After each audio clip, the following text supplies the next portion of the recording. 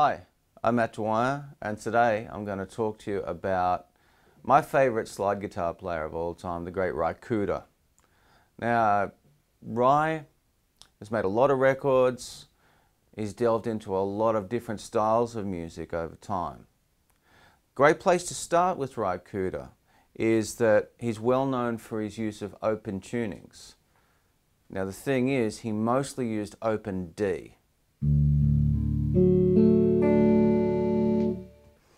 As I've said in other videos, open D tuning is D, A, D, F sharp, A, D, which is an open D chord. So you're tuning the bottom E down to a D, the A string stays the same, the D string stays the same, the G string, tune that down uh, half a tone to F sharp, the B string down to an A and the E string down to a D. And that's how you get that wonderful open D chord. Now a great place to start is playing melodically. Ry is about the most melodic slide guitar player around. Him and David Lindley, well known for their sense of melody, particularly when they played beautiful old uh, folk songs, country tunes, all sorts of tunes. They had a great sense of melody. Now, all the melody comes from a major scale. Now, how do you play a major scale in this tuning, I hear you ask? Well, it's really very simple because a lot of that soloing happens on this high E string. And this is a great place to get started. Now, we're just going to start with playing a major scale on the high E string. Uh, if you're not quite sure what a major scale is or what the notes are in a major scale, it goes tone, tone, semitone, tone, tone, tone, semitone. And I'll display that so it makes a little bit more sense. So we're starting on the open E string, which is now a D. So it's open, second fret, fourth fret, fifth fret, seventh fret, ninth fret, eleventh fret, and twelfth fret. I'll play that as a whole scale.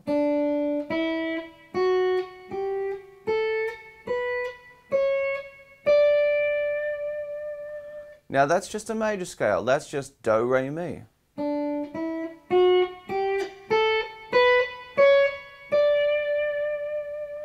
Now you'd be amazed at exactly how much you can get out of that. Now if I just start with an open D, now instantly that's got that Cooder sound. It's a very recognizable sound. And it's that easy. So all I'm doing is just playing the middle D string there to give it some bass.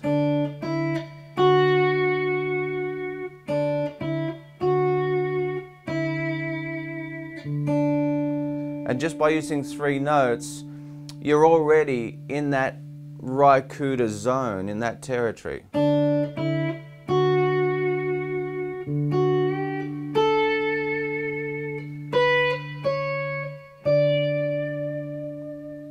Which is a beautiful sound just on its own.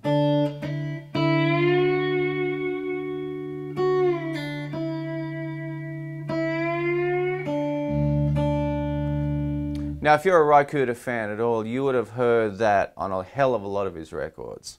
Uh, that's very much his trademark sound.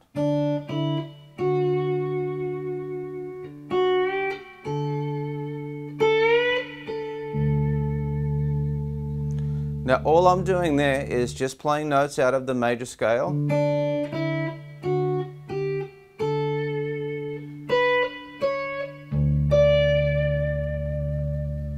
And just throwing in the odd D, either on the bottom string or on the middle D there.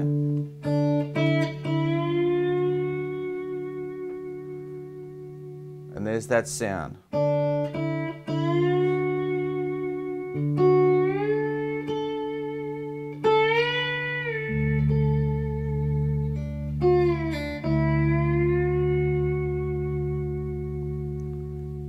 Now this is just an introductory lesson, so I'll just keep it really simple and play that major scale one more time.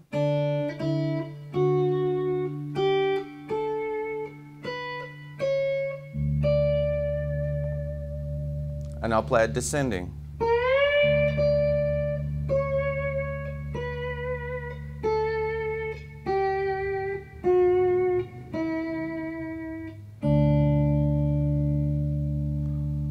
Now in future lessons I'll get more in depth, take you further into the land of Ry, but that is a great place to start.